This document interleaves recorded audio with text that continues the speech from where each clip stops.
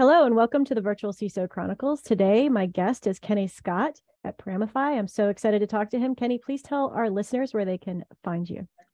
Great.